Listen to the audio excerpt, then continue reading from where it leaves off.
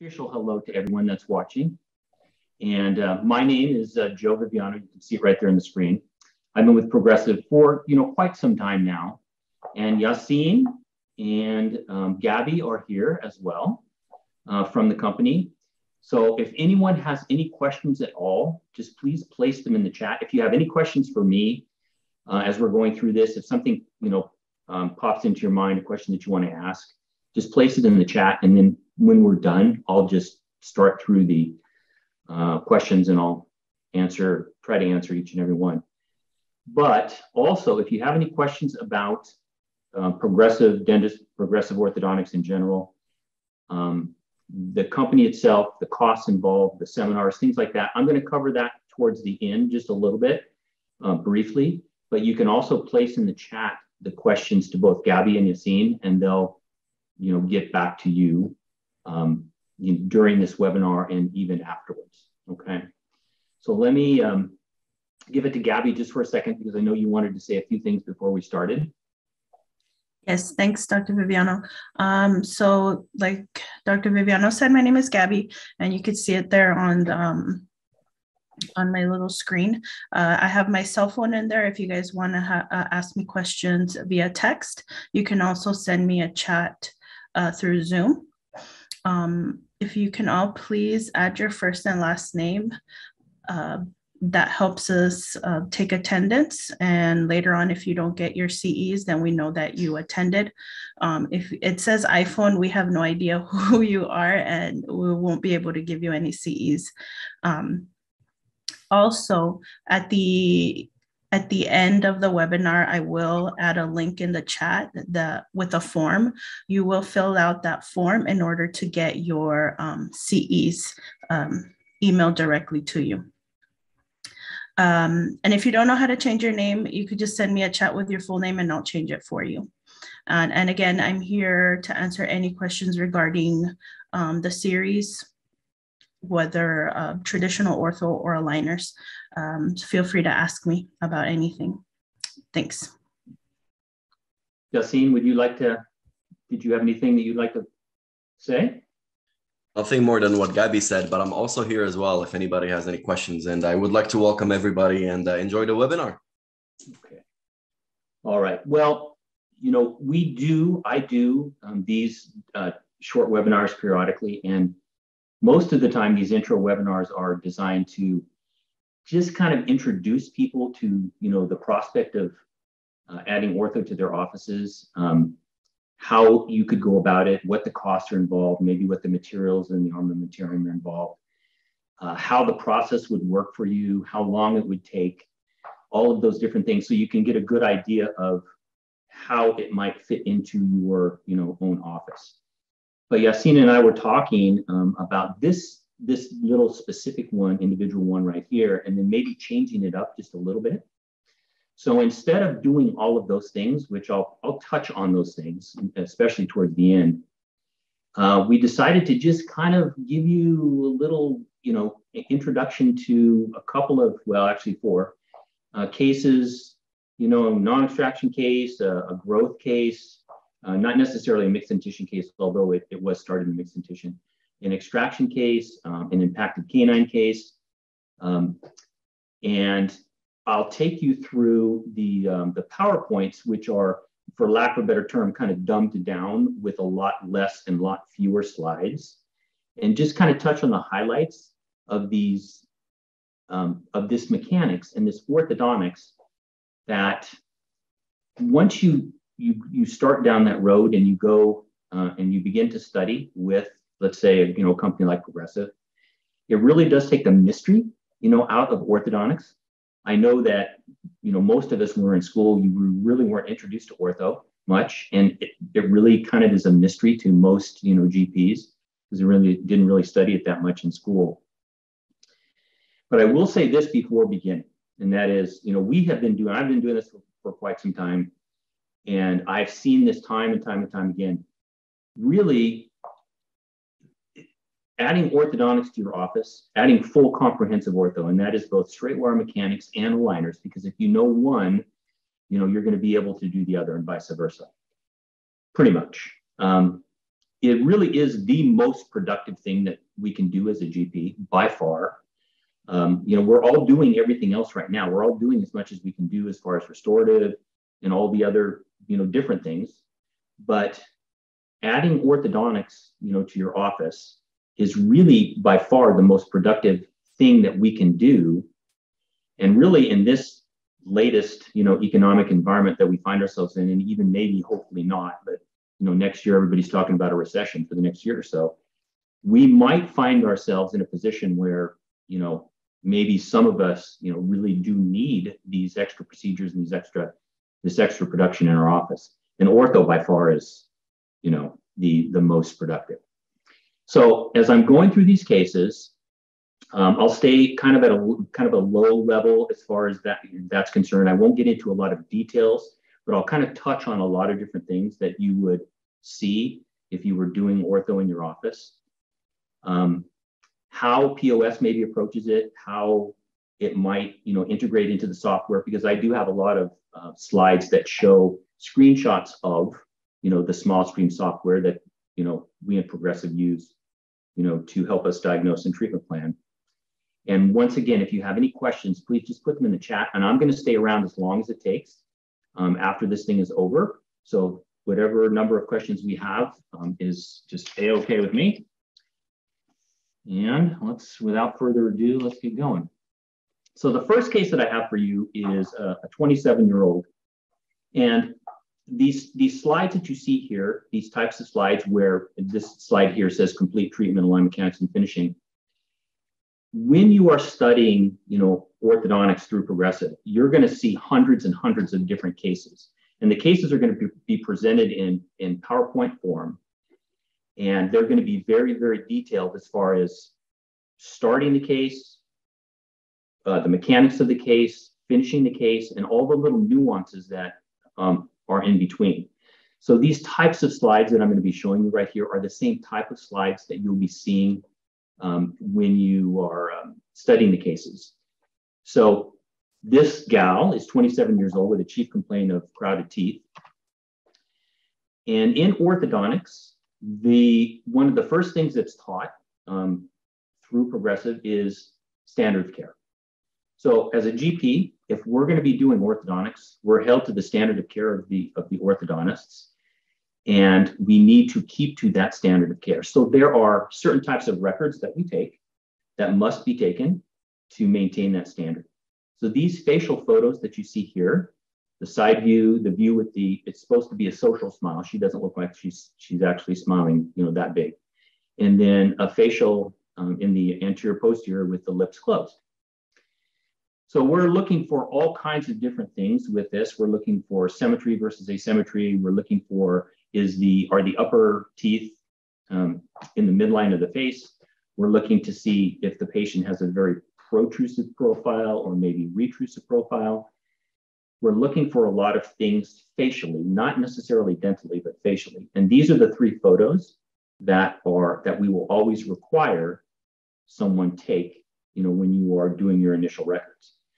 So when you're looking at her, everything looks pretty normal, you know, as far as the face is concerned. Upper midline to face is, is in the center. But when you look at her lateral view, the one that's on the left, you can see that her lower lip is a little bit protrusive, her upper lip, or it could be her upper lip is a little bit back. But other than that, everything looks pretty normal. So remember, her she comes to the clinic and her chief complaint are crowded teeth, right? So then we ask her to, you know, open up and start looking at her teeth and we find that you know this is her bite. So most you know GPs, when a patient like this you know presents to the office, would be you know absolutely you know no way. This is something that uh, you know immediately gets a, a referral to the orthodontist. You know I'm not even going to even you know attempt to even talk to the patient about this. But in reality, as we're going through this case, you'll see that the, the underlying position of these teeth, the the position of the teeth looks bad, obviously with the anterior crossbite and the scissor bite, but the basic position of the teeth is not that bad. In ortho, um, like I was saying, the standard of care is basically what you're seeing right here as far as the records are concerned. So this is just a screenshot from the um, SmileScreen software. And with every case that you would start, this is what you would do. You would take the facial photos. You would take these six intraoral photos like you see. You would take either a scan or a photo of the lateral view of a model. Normally today, most of us has, have scanners.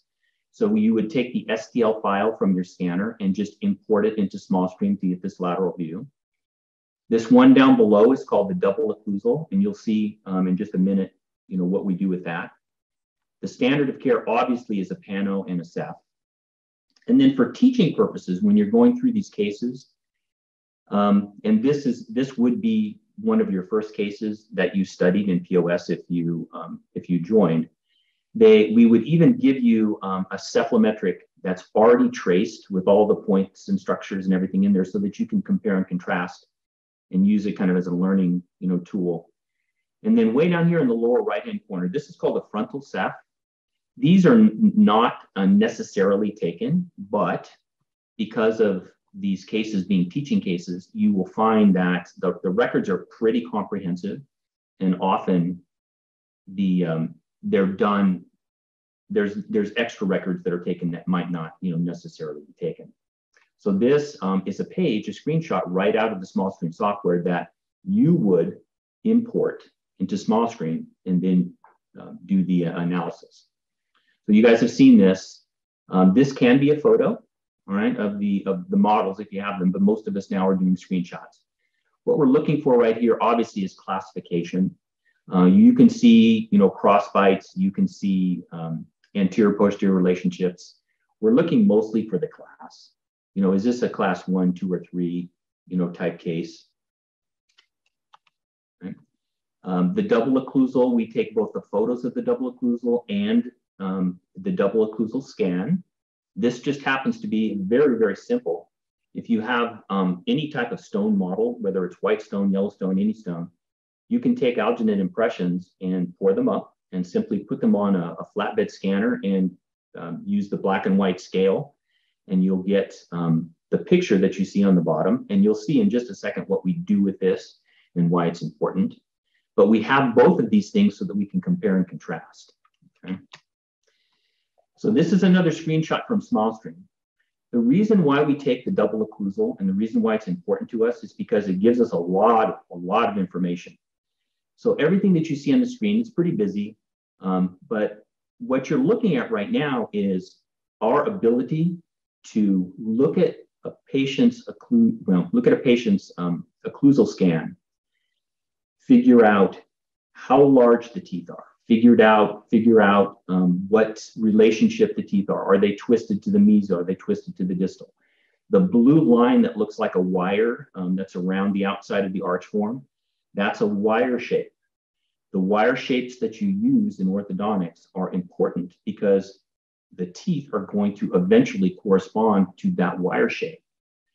And in this particular case, you can clearly see because of that anterior crossbite, the lower arch is very, very tapered compared to the upper arch. The upper arch is much more, we say, square versus the lower arch that is tapered.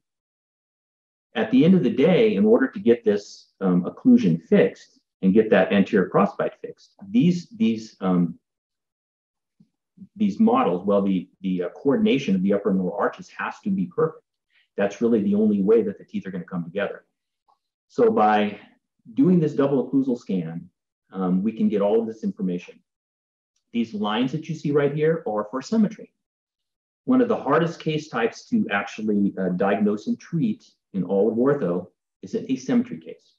When you have class two on the right, maybe class three on the left, and there's nothing that you know has symmetry. The upper and the lower midlines don't correspond to one another. The right side is different from the left side. The top is different from the bottom. And you have all these asymmetries in the, the bite that in orthodontics is the hardest case to treat. So what this double occlusal scan does for us and what SmileScreen will help you do is analyze that whole uh, scheme and it will give you much better information on what you're dealing with and obviously, you know, kind of how to fix it. Standard of care is the Pano. Um, you can't start an orthodontic case without a pano. We're looking for a lot of different things with the pano. We're looking for all the pathologies that might be there. We're looking for the, the root position. We're looking for supernumeraries. We're looking for uh, sinus height. We're looking for how low the sinuses go between usually the posterior teeth. The sinuses are lined with cortical bone. Cortical bone is harder and more dense than normal bone. Moving a tooth in and around cortical plate is more difficult and slower process. This just happens to be a, um, uh, a screenshot that doesn't show the condyles, but in orthodontics, um, we, and when you're taking your pano, we, ab- we absolutely do want to see at least the physical form of the condyle and fossa, not necessarily the re- relationship, but the physical form, and make sure that there's no path- pathology there. Um, so panos, um, not just a, a, start pano, but a finish, you know, a final uh, pano, and even progress panos during the case to check for the possibility of root resorption are important. Obviously, we have, you know, the cephalometric analysis. So SmileScreen, the software, will do all the analysis for you as long as you place kind of a series of points and structures, you know, on the, the um, Ceph. And then basically you just press one button and it gives you all the data. This is just a, a very, very short list of the data that it, you know, gives you. And what it will also do is if there is something that is not correct, well, let's see, not correct. If there's something that's a little bit abnormal in the Ceph analysis, what it will do is it will highlight it for you. And once again, it just gives you that little flashing red light so that when you're trying to uh, diagnose a case, especially in the beginning when you're a little bit uh, a novice at it, it, it's, it's a great help um, as far as the, um, the diagnos- diagnosis is concerned. So this is just a, a, a, sample of the, the lateral Ceph numbers that it will um, give you. And you notice that uh, it gives you a whole list of skeletal numbers and, and, has nothing to do with the teeth. It has everything to do with just where the bones of the face are. And then it has all of the dental and facial numbers, and that's that is showing you where the teeth are. Okay. Every case in orthodontics, and you will be taught, you would be taught this. Every case in orthodontics, when you are uh, considering the options, you must list all the possible options. It's standard of care. What that tells the that what that tells anyone that let's say goes you know goes back and let's say um, critiques the case is that all of the options that were that were available to the patient were presented. So obviously, non-extraction treatment is always going to be the first one. We're always going to explore the possibility of non-extraction treatment, and only when we the all of the data shows that we can't possibly do it non-extraction, then we begin to consider extraction. So in a case like you saw here, case 1010, there is a possibility of an extraction diagnosis. And since it's a mild class three case, you know, it would be upper second bicuspids, we say fives, and lower first bicuspids. And then you know, way off kind of in the distance, there is the possibility of surgery. It is, you know, it is a class three with a, an, a mild class three with an anterior crossbite. Really, I would say nobody would do surgery on this case. And if you did, it would be excessive, excessive. However, it is an option. So in ortho, we always must consider all the, the options. So when you do all of this analysis, when you gather all this data, you start putting it all together, you're going to come up with a series of treatment options. You're going to select one of them, obviously. So we call that in ortho, we call it the treatment decision. And in this case, it was a non-extraction treatment decision. So that's what you're going to see. You're just going to see how the case um, treated from start to finish.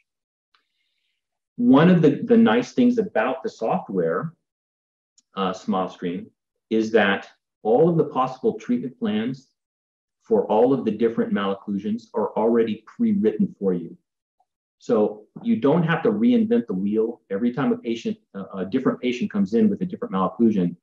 There are 150 pre-written treatment plans in SmileScreen, and you know it's not really a cut and paste type thing, but The treatment plans are there. They're, they're written very, very well.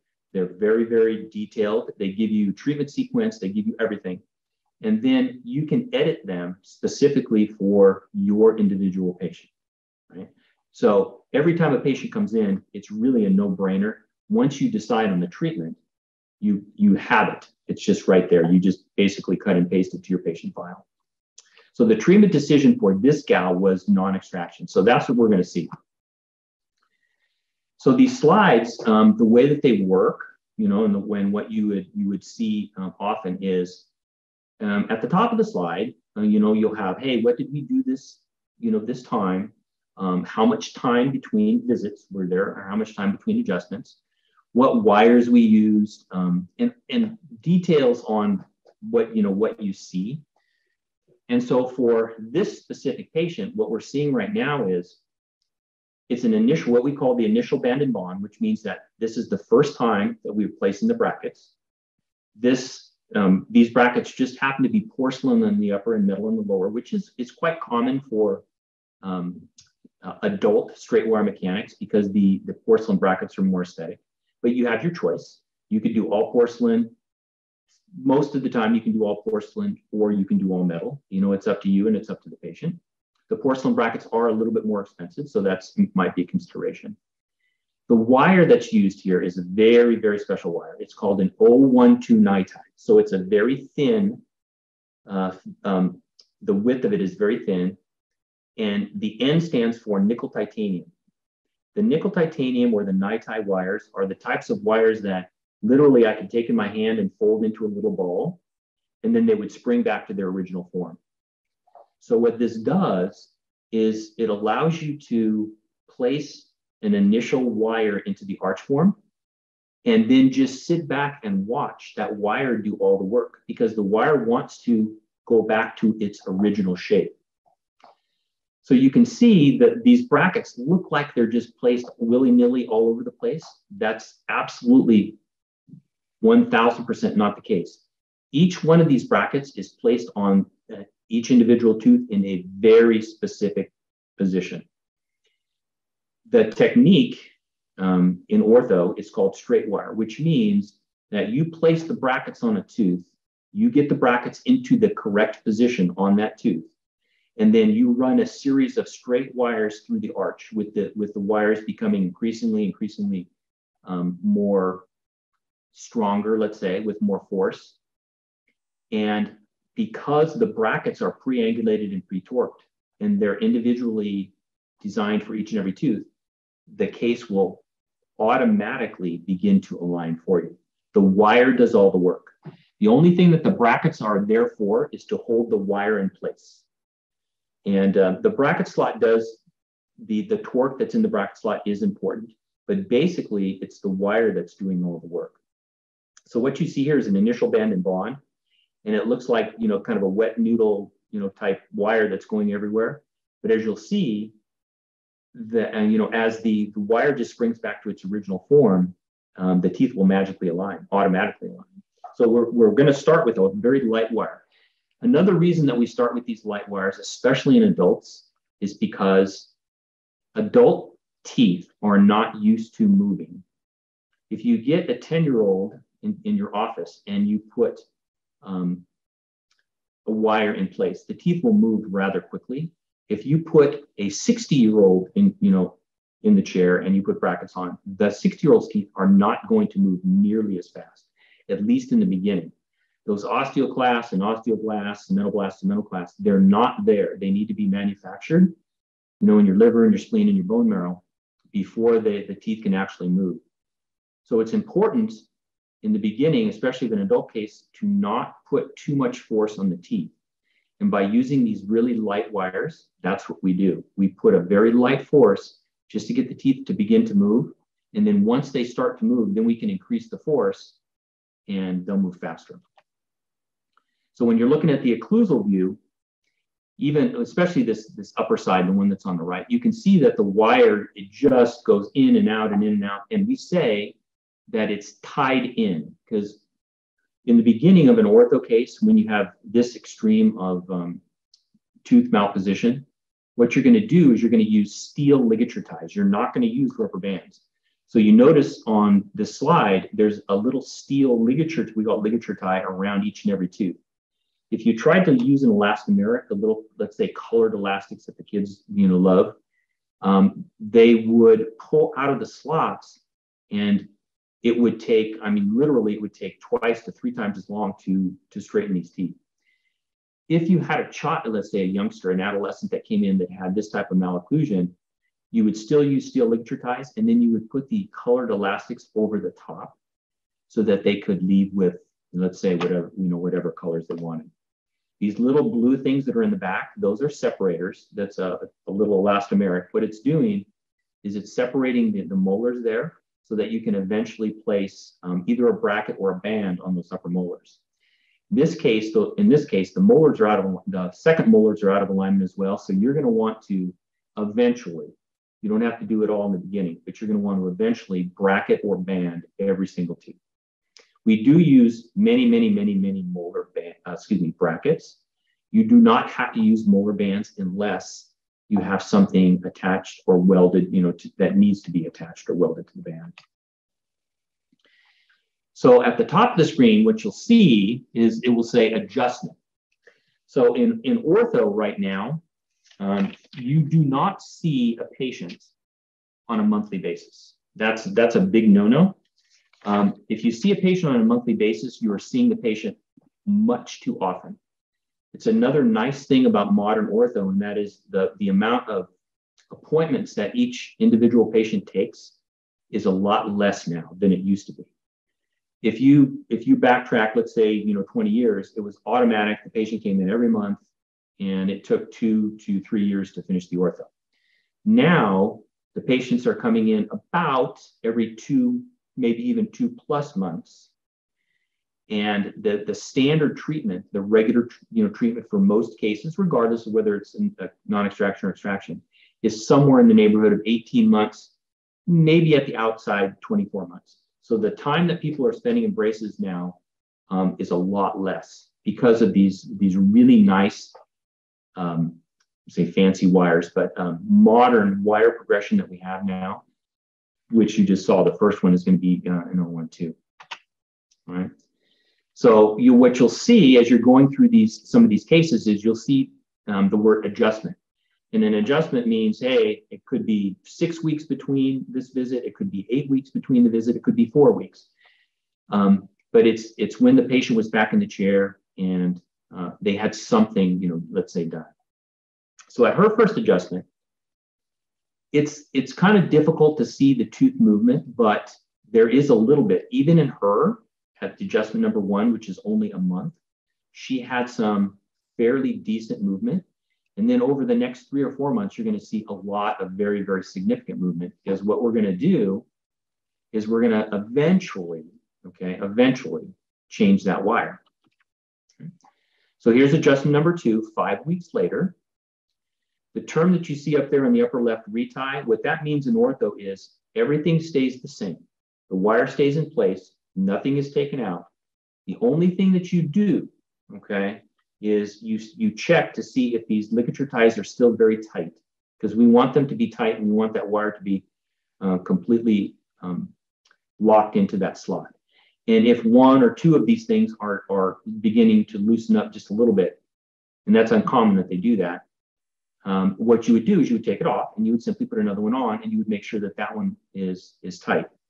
So this is exactly the same wire. There's been no change in that. And all those little steel ligature ties there um, are still tight. So for this visit, this adjustment number two at five weeks, in my office, since you know I basically know kind of, kind of the future of a lot of these cases, I would only appoint this person for about 10 minutes. And the person would sit in the chair, you would say hi, goodbye, you know, look at the teeth, make sure that the, the ligature ties are, are nice and tight, and they're gone. So the amount of time that we're spending on these patients is also a lot less. Another thing to consider is when, when you're first learning ortho, you're a little bit tentative because you don't see the future. You've never done ortho before most of you. You don't see the future. You don't, you don't, you know, you can't from your memory look and see, okay, I know that this person's teeth are going to move this fast, and in six months they're going to look, you know, different. So it's a little bit disconcerting in the beginning. Well, you can get around that because the first three to four to five to six months of any ortho treatment is what we call level and align. And what you're doing is you're doing just exactly what you're seeing right now. You just have to sit there for an appointment to make sure that the brackets are on correctly. And then literally you can get up and your assistant can place the wire and tie in the wire and give the patient instructions and hygiene and do whatever. And you're already off, you know, in another operatory doing something else.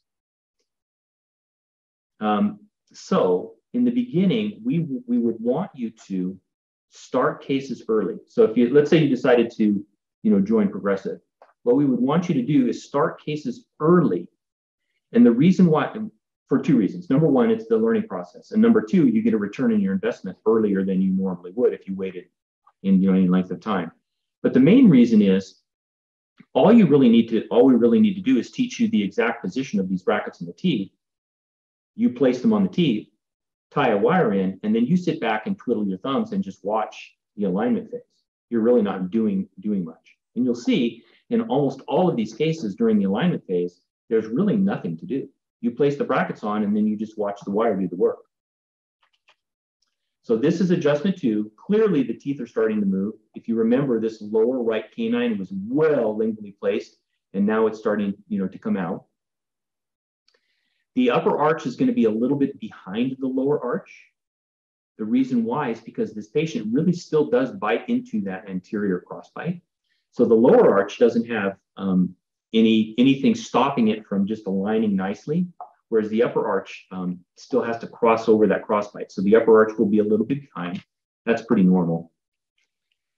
In, in ortho, um, at the end of the day, we want the, all the roots to be parallel. And you can see clearly right now that the lower canine roots are not.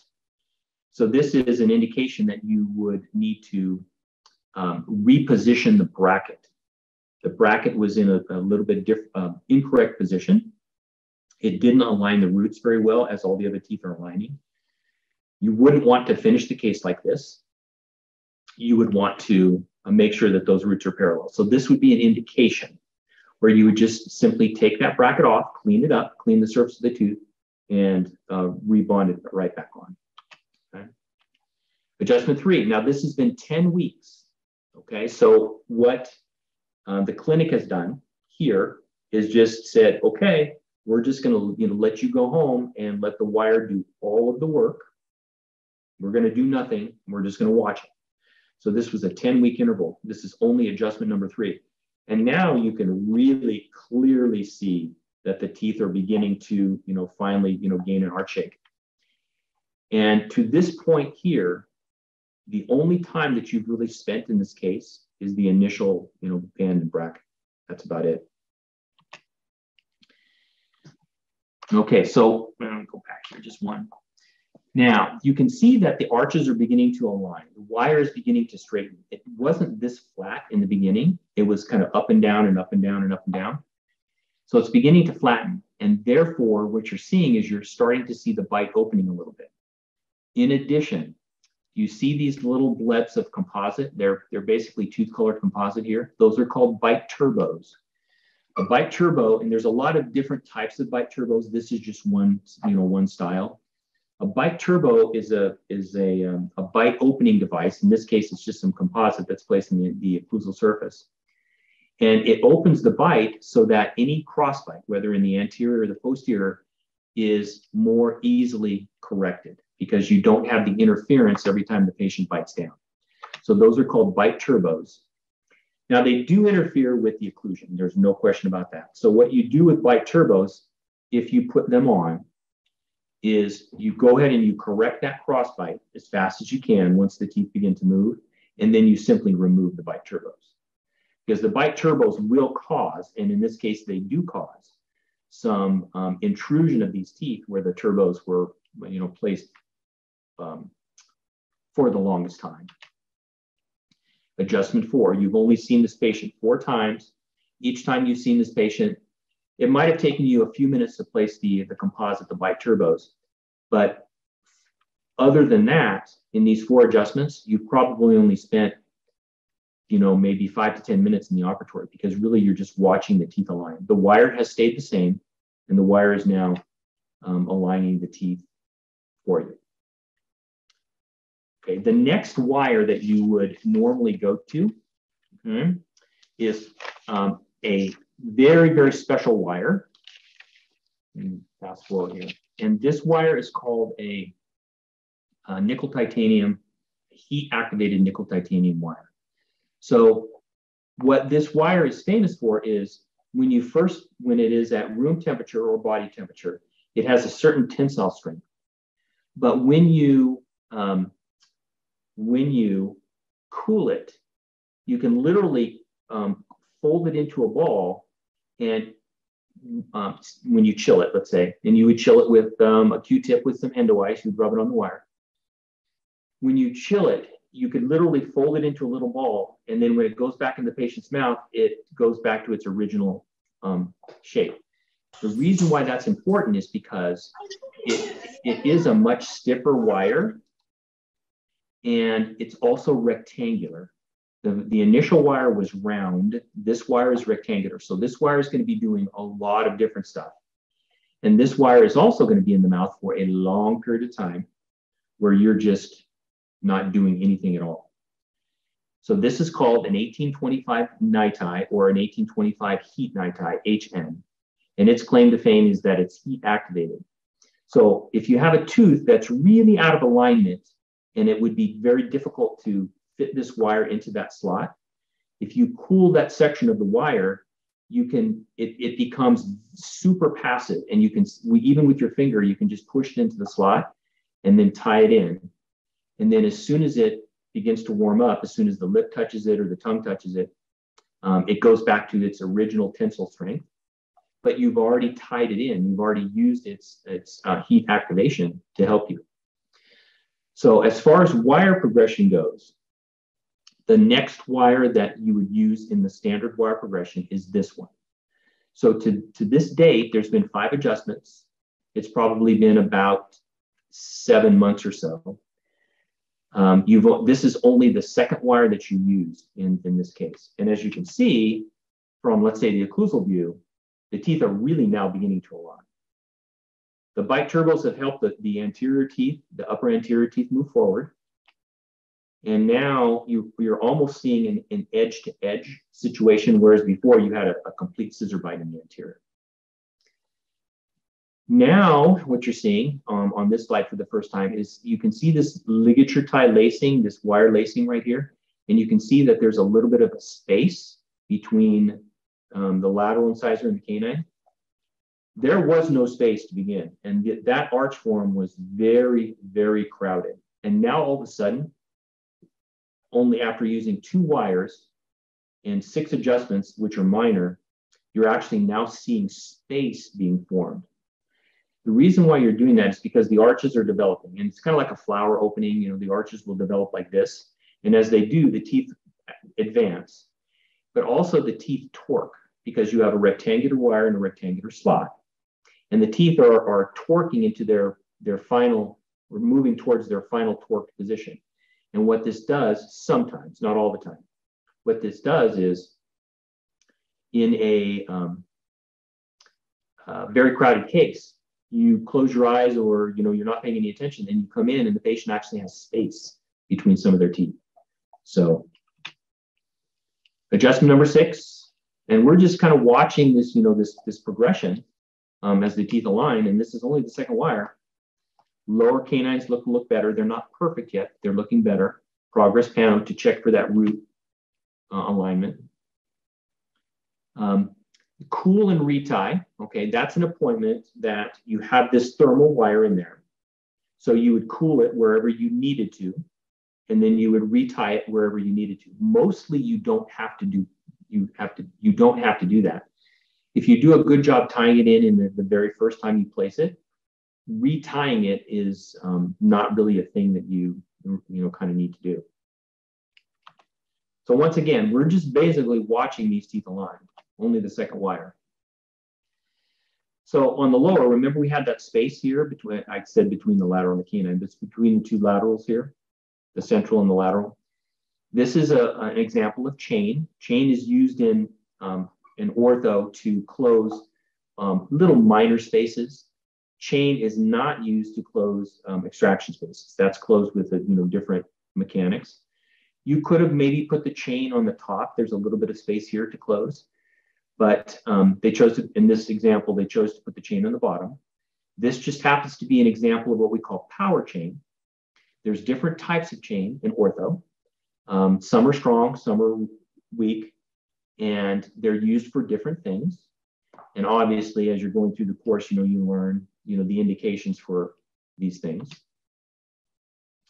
By adjustment eight, you know, if you if you just glanced at the arch forms, you can almost now, you know, say that if you had a cast of each one of those, they would, you know, just fit, you know, together without any problem. So the arch forms are looking really, really good. So we call this, okay, in ortho, I know there's a lot of terms and I'm, I'm trying not to, you know, give you too many of those, but we call this in ortho um, the alignment stage. So what has happened, okay, what has happened is you have taken um, an arch that started like these, this picture on the left, the lower and the upper. And what you've done is you've placed two wires, one very thin um, wire, and then the um, for several, several, several months, and then the nickel titanium heat activated wire for the next several, several months until you got to the point where all of the rotations are gone. Right? It looks like this upper left five is still a little bit, you know, rotated, but for the most part, at the end of the alignment stage, that's when all the rotations are gone. So for this lady that started with this anterior crossbite and this much crowding, it took you about eight visits with two arch wires per arch. And there was a lot of crowding, including the fact that you had to spend a couple of months with the bite turbos. So this whole process took about a year. So far, okay, so far, there has been zero mechanics. We don't call what we did here mechanics. All you've done is place the brackets and, and put some wires in. And to be, you know, to be honest, to be honest about it, um, in many orthodontics, orthodontists' office, the assistants have done all this work, including place the brackets. In some orthodontist office, the assistants will place the brackets, and all the orthodontist has to do is walk by, look at the bracket placement, make sure that he uh, thinks that the brackets are placed correctly, and then gives the thumbs up, the okay to go ahead and um, bond the brackets. And then the assistants put the wire in, the assistants, you know, do the ligature ties, the assistants do the cool and reties.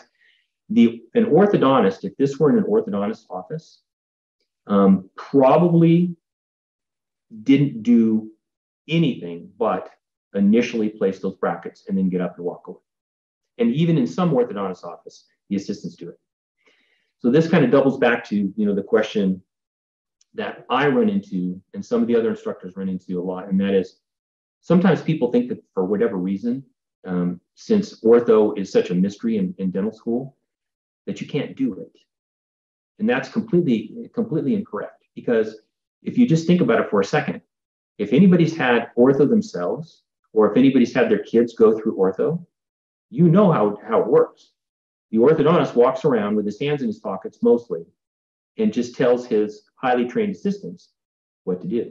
And the assistants do most of the ortho.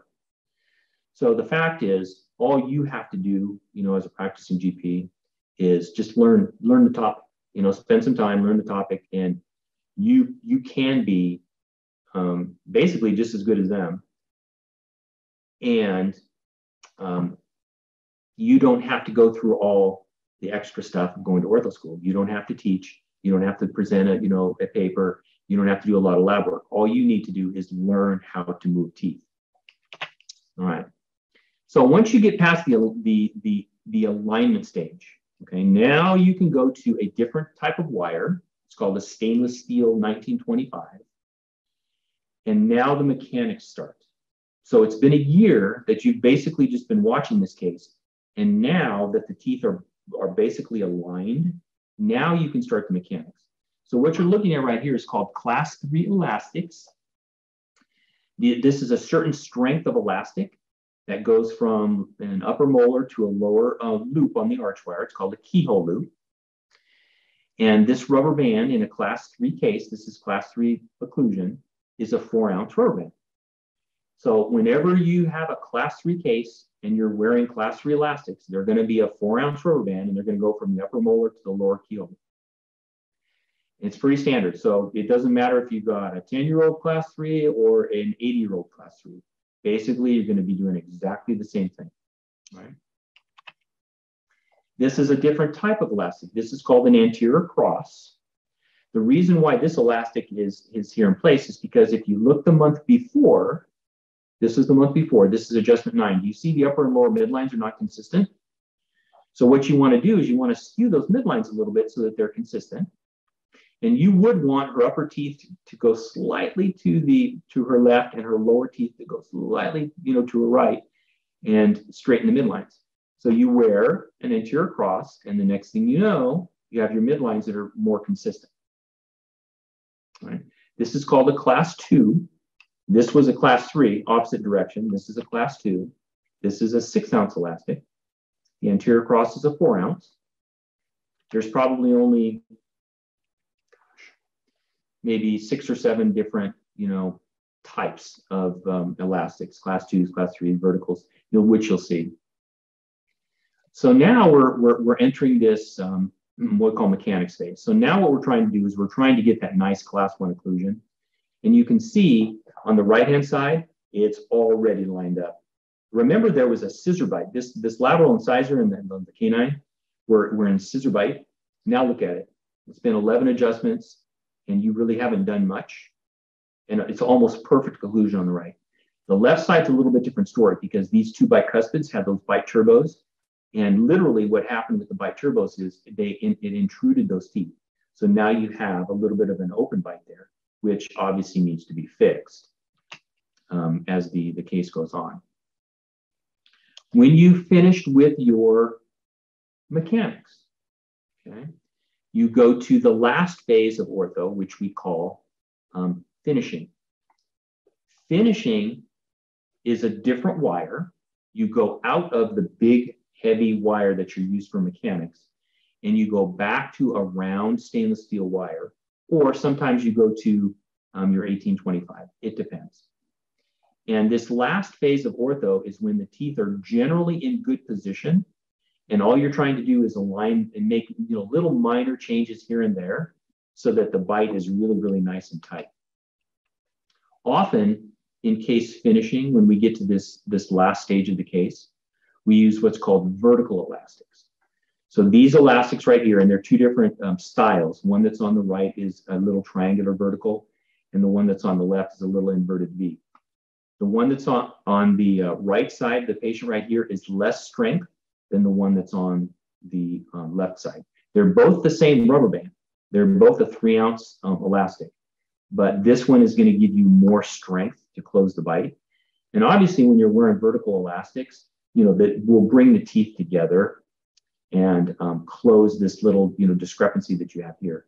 You really don't have a discrepancy on the right hand side, so this vertical elastic is just there to keep everything nice and tight whereas the vertical elastics on the left-hand side is actually a stronger one, and it's designed to help close the bite. Okay. Now, in, in ortho, what we try to avoid, if we can, and there, there are ways around it, is a lot of wire bending, because wire bending um, takes a certain amount of time and energy and skill, you know, to develop. Um, but you are taught how to do wire bending we try to keep it to a minimum by repositioning brackets. But what happens with wire bending is you have to actually take a straight wire, an 018 straight wire, and you see that there's a little, there's little bends in the wire here. This one is very, very obvious. The wire's here, then it bends down, it goes across and bends back up. Well, what that's going to do is it's going to take this tooth and move it down. So if you need to close an open bite, in this case on the lateral side, you would make wire bends, which would help close the bite. And in conjunction with the, the vertical elastics, you can get those teeth together. So it's called case finishing, and this is wire bending for case finishing. A typical first order bend looks something like this. Um, the tooth would be right in the middle, and this would move the tooth up, of course. The, the length of this, this arm right here depends. Could be a quarter millimeter, could be half, could be one. Uh, depends on how far you need to move the tooth. And these first order bends that you see right here can actually be made with um, what we call an intraoral finishing plier. Very, very simple. You don't even have to take the wire out of the patient's mouth. You just simply grab the, the plier and put it um, anterior to the, to the tooth and posterior to the tooth and make these bends using one little squeeze of the wire, of the plier. And it's very, very quick. So we do try to keep wire bending to a minimum, and we teach you how to do that. But if you do, these first order bends can be made with an intraoral finishing plier, and uh, they can be made very, very quickly. So now we're just in a finishing phase. And to be honest with you, this case would be done. This case would be done, except for the fact that she needed to wear those bite turbos for about four or five months in order to help um, correct the anterior crossbite. If it wasn't for the fact that those bite turbos interfered with the, the occlusion on these two lower bicuspids, this case would be complete. In case finishing for this specific case, that's where all the, the, um, the activity is, right here to get those teeth together. And um, in this case, it took you know, repositioning a few brackets and making some wire bends and doing some verticals. It took about three or four months, you know, to do that. And you can see that the, you know, slowly as she's wearing her verticals and as the uh, the teeth are, the wires being bent, the teeth are coming together. All right, until you're done. So when you're finishing with an ortho case, right, you take final records. You'll take a final pano, you take a final ceph, you'll take final photos, take a final occlusal scan, and you put them in the patient's chart as you know their final records. So you have start records, you have some progress records along the way, and then you have final records. So this is her final occlusion. So let's critique it. Um, looking at the midlines, the midlines are good. If you look at the patient's right side, it's basically perfect. Perfect class one, very tight occlusion, nice. You look at the patient's left side, good occlusion, um, a little tiny, you know, bite opening right here that nobody was going to really notice. Um, maybe you could have spent a little extra time taking this lower second bicuspid and moving it up and closing this little gap. But without this little tiny, you know, oh, issue right here, um, all good stuff. Final pictures, start and finish, um, kind of clearly see what kind of what happened. When she started, because of the anterior crossbite, the lower teeth were pushed forward, the upper teeth were, were back, and that they were in scissor bite. So you had a very square upper and a very tapered lower. Because the arch wires, upper and lower, are coordinated arch wires, they're basically the basically this, this the same shape. They're a little bit different size. The upper is a little bit um, wider because you do have buccal overjet. But now you can see just by that wire progression and moving through the wires, what it did is it coordinated the arches and you, you ended up with, um, you know, a nice, you know, finish. So for teaching purposes, right? And it's really, really, really very, very good for teaching purposes. We have these things called overlays. So what you're looking at right here is basically just a drawing of the start ceph, that's always in blue, and the final, which is always in red. So this picture that you see on the left-hand side, you notice that it doesn't have any teeth. It just shows the maxilla, it shows the mandible, it shows the facial profile, shows the occlusal plane. And this overlay is at the SN line. This is your, this is your pituitary gland, sella, and this is nasion. So these two cephs are overlaid on top of one another. That's the, this is the reference point. And what it's doing is it's showing the changes that took place from start to finish. So in this case, just you know, as an example, she had that anterior crossbite. So her upper teeth were, were retro to her lower teeth. So her lower lip started way out in front and her upper lip started in back. But by correcting that anterior crossbite, her you didn't do anything with her lower lip. In fact, her her, her lower teeth probably re- retracted just a little bit, but you moved out her upper lip because you took that anterior crossbite and moved it forward. So she has a, a much better profile. So just the lip, the changes in the lip posture um, are really, really nice. So then what you're looking at on the right-hand side for overlays, one is called the maxillary, the lower is the mandibular.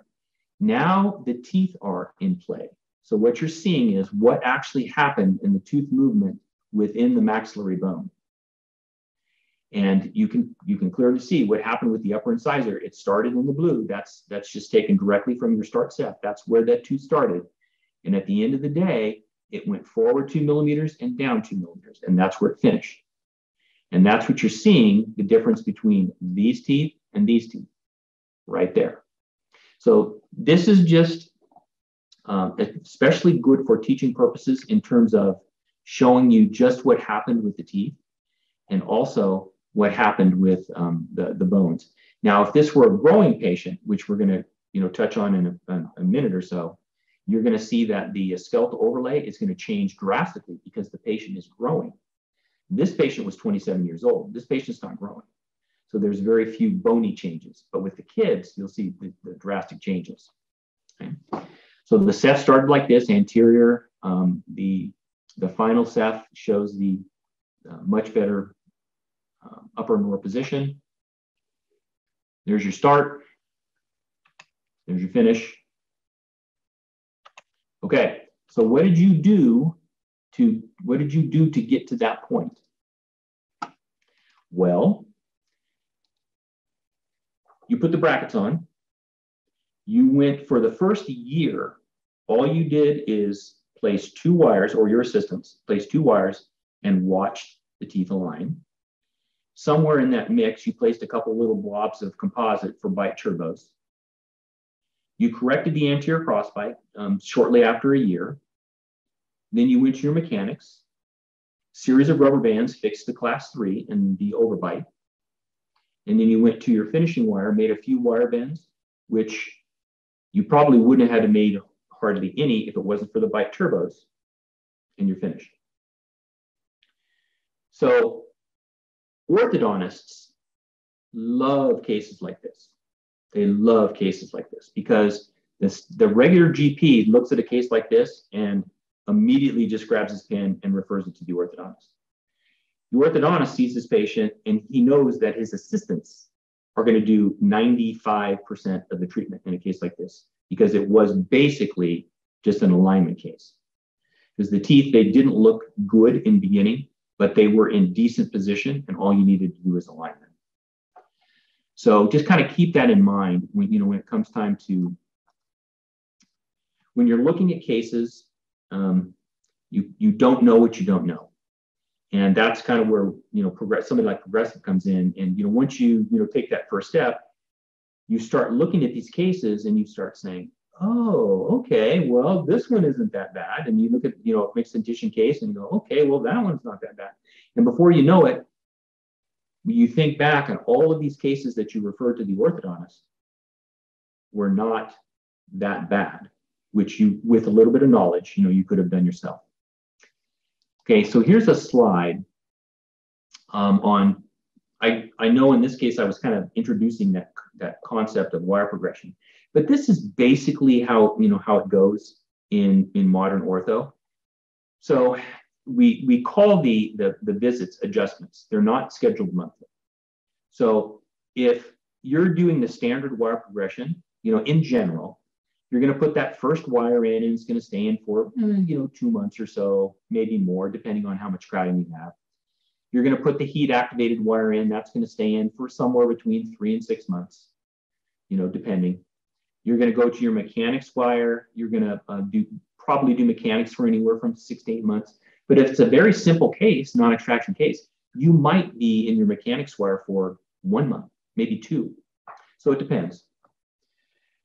And then you're going to go to your finish, which you're going to double back to your 1825, or if you do have to bend some wire, you're going to use an O&A. So that's kind of up in the air. So in, in, in an 18 month case, let's say a year and a half case, which is very standard nowadays, you're probably seeing the patient nine to 10 times. You're probably seeing them only nine to 10 times in an 18 month case. And hopefully, hopefully your um, assistants are doing most of that work for you.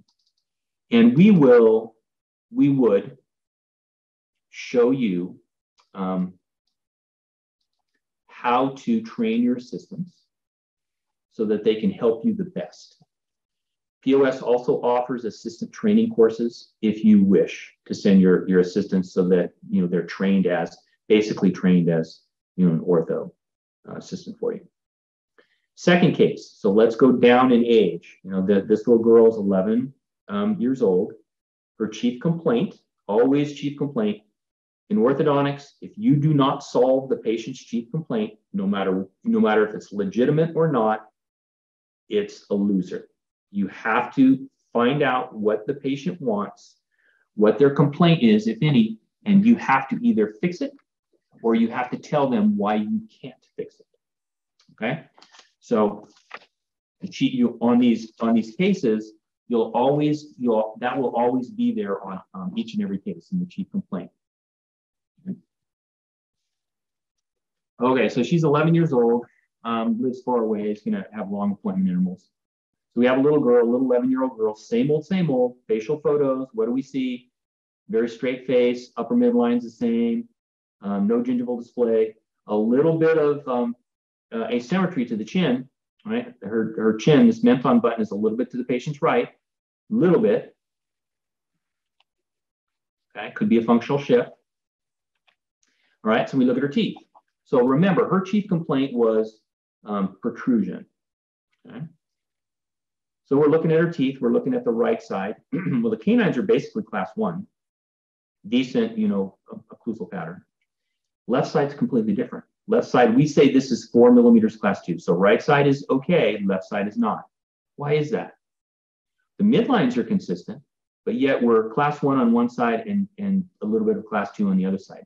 This is an example of mild asymmetry. So this is a harder case type. Remember I said that, that asymmetries are can be a little bit harder. So now it's our job to figure out why the, the case presents like this. Right? So same type of records, double occlusal, um, facial photos, lateral views, model measuring, where are the teeth, how are they rotated? Where's the upper midline to face? How large are they? Which wire are we going to choose? The, the software um, helps us do all of this and choose all of this. Okay. Pano, the same. Okay. Supernumerary teeth, impacted teeth. Do they have all their teeth? This, you know, this little girl has all her third molars. Pathology, all of that stuff, standard of care. Um, can you move now, we treat mixed dentition a lot, correct? We, in fact, we like to treat mixed dentition. Can you move teeth before their apex is fully formed? Yes or no? Absolutely yes. We move teeth all of the time when their apex is not fully formed. It makes absolutely no difference at all.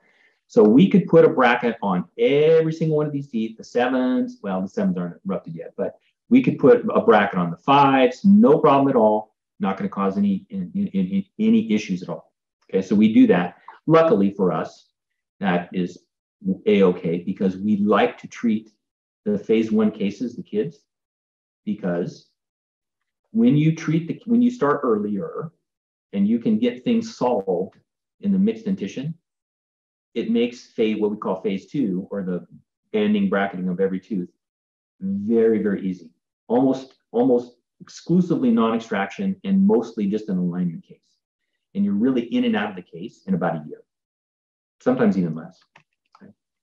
Ceph, right? You're going to do the cephalometrics. Okay. So what she's probably seen, right, here is she's she's complaining of protrusion. Well, what she's really complaining about is overjet. And the overjet, right, is there because she's got the class two on the left. We'll get all the numbers, right? SmileScreen will give us all these numbers. All these numbers will eventually mean something to you. When they're highlighted in the different colors, that means that there is something a little bit abnormal about that number. It's either the tooth is too upright or too forward or too high or too low. But it's um, there's something a little bit abnormal. When we when we are treating the kids, we are treating a person that is growing. So we have a way of, of determining where they are in their growth phase. So we, we there's a there's a couple of different ways to do it. There's the, the easy way, which is the CVM analysis, and then there's the a little bit harder way, which is the wrist film. So it's very, very simple. And you'd be taught, you know, you would be taught this, you know, as soon as you started treating, you know, mixed dentition cases. If you take a screenshot of the, their cervical vertebra directly from their, their Ceph analysis. So this, this screenshot right here, this picture is taken directly from their Ceph. So this one right here, this is C2, this is C3, this is C4. And all we're doing with a CVM analysis is we're looking at the shape of the vertebra. And over here on the right-hand side, as you as you get, as you're very young, when you're very young, let's say, the cervical vertebrae are very very short. The bottoms of them are very flat, and the top is very curved. They're a trapezoid. And as you age and you get older and older and older and older until you're fully grown, skeletally fully grown, your, your cervical ver- vertebra eventually end up with what we call a rectangular vertical with very, very deep um, curvatures on the, the base. So the significance of this is the patients aren't really growing a lot when they're in the CVM uh, 1 and 2. They're growing their fastest. We say that the growth velocity is their fastest when they're in this stage right here. So if their vertebra look like this, that's when they're growing at their fastest rate and then they start to slow down, obviously, as they finish their growth. So anytime you're trying to utilize growth to help you, typically in a, let's say a class two case, you want to time the growth, or excuse me, time the, um, the ortho at the peak of their growth. So this is the standard growth curve that, you know, you can open up any ortho textbook and see. And basically what you're looking at is these little numbers underneath one, two, three, four, and five correspond to CVM 1, 2, 3, 4, and 5. So when are they growing their fastest, right? The vertical um, part of the graph over here is velocity in centimeters per year. When is a girl growing their fastest? CVM 3. Usually they're between 11 and a half and 12 and a half years old. And that's when it's the best time to use a growth um, management device of any type. It's a. It could be a Herbst. It could be a Jasper. It could be a Powerscope. It could be a Mara. It could be Headgear. It could be any growth type appliance. You're going to want to use it at that spot. That's the best spot. We know boys eventually grow faster. Their velocity is faster. They'll they'll really grow taller in a shorter amount of time. But guess what? They do not really do it uh, until they get to be 13 and a half, 14 and a half. So we kind of have a problem with the boys in the respect that we're typically done with their ortho by the time they even start to grow their fastest. And that can be an issue sometimes, right? So this is the standard growth curve. That's what the CVM analysis looks like. That's the growth curve. When you, you know, when we begin to study mixed dentition cases, that's what we're going to study. Okay. Oh my goodness gracious. Yassine, I knew it was going to take longer. okay, guys, I'm going to speed this up a little bit. Okay. Looks like we're all still here. Yes, I'm going to speed this up just a little bit. Okay. Same thing, treatment decision. In this case, it was non-extraction. Right. So same thing. You, you, I think you guys are kind of beginning to get um, the the drift here. When you start a case, it's the same thing. It doesn't matter. You put the brackets on in the, the correct position and you put these light wires in and you sit back and you twiddle your thumbs and you watch these cases just magically align on their own. Okay? You do not do much for the first three to six months of these cases. Only when you get to the end of the alignment stage do you, you know, you go to your thicker wire and you begin your mechanics. This case right here is a little bit different in that it's a growth management case. It's a youngster, 11 years old. Girls grow fastest between 11 and a half and 12 and a half. So they decided to use good old fashioned headgear. Now, headgear has gotten a bad rap over the years, but headgear um, done correctly is very, very effective. We use what's called cervical headgear. It's super easy to um, for the kids to wear. Um, it's easy to adjust, and they only wear it at night when they sleep. If you can get them to wear it a little bit more, let's say throughout the afternoon, great. But they're only wearing it, you know, at night. So what headgear will do is you would think that it would pull back the upper teeth and actually distalize the upper arch. It does not. What it does is it holds the upper arch in position. And as the child is growing, now remember, it's a growth case. As the child is growing, if the upper arch stays in start position, the lower arch um, will be allowed to grow. Um, and you indirectly correct your class two. And you'll see that in this case. Now, remember, it started a, a quite a bit of class two um, on the um, left-hand side with a little bit of functional shift. Same thing, we check for bracket position. We make sure that the um, roots are all aligned. We eventually get into our, remember the slide I just gave you about wire progression? We eventually get into our 1825 upper and lower. That begins to add torque.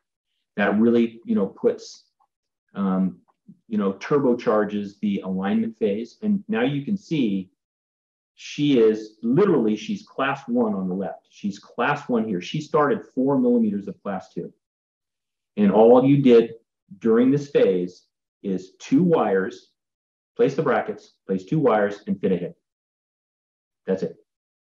Okay. So now, right, it's just a matter of watching. She's not biting correctly on this one over here on the, on the left. Her bite is much better than that. Okay. We get to our mechanics. Now we have most of the time, we have a looped arch wire. Once again, this is a class two um, elastic. It's a six ounce elastic. It's generic in the industry. Um, it goes from lower molar to the upper keyhole loop.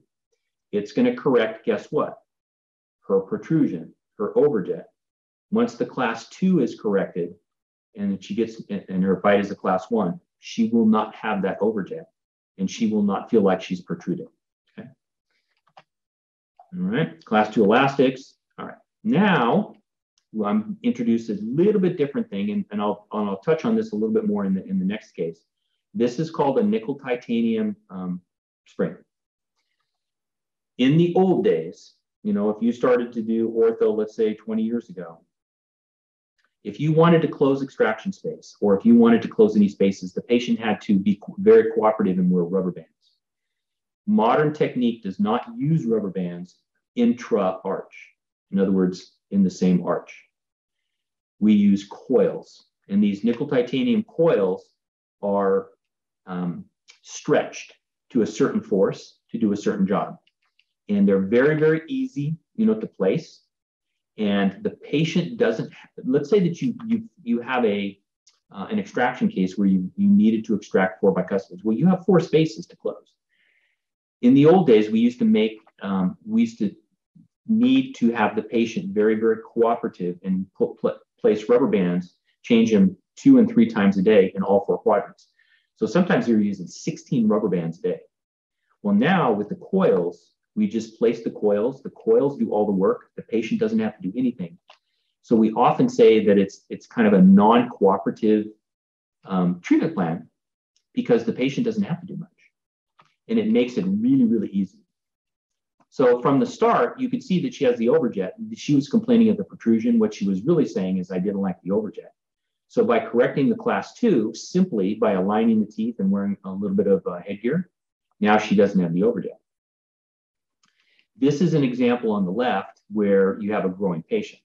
So they, she started, right, start where the blue is. Her maxilla was here, her mandible was here. And at adjustment number 15, I'm not sure how many months that was, she had grown down and forward by eight millimeters. And the teeth had moved in this way. Okay. Um, so there's different, there's different types of overlays. This is called a, a DHG overlay. No worries. It's a growing patient. she started in CVM2. Two years later, she's CVM5. She's not growing anymore on the graph. She started here. Now she's here. A little class two elastics to just, you know, tighten up the, the, the bite because she complained of overjet. We don't want, you know, any excessive overjet. Nice arch form.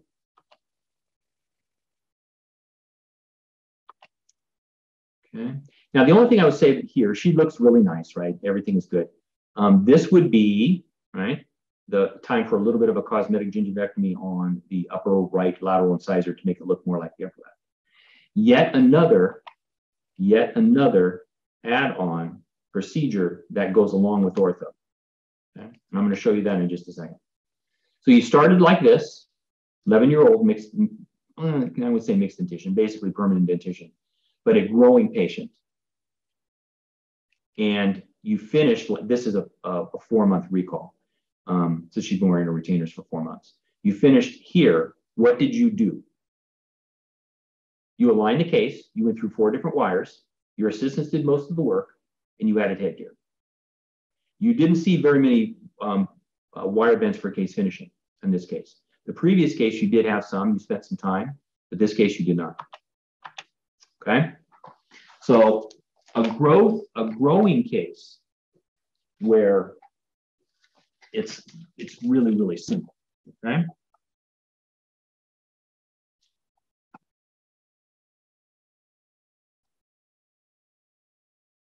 This is going to be an extraction case.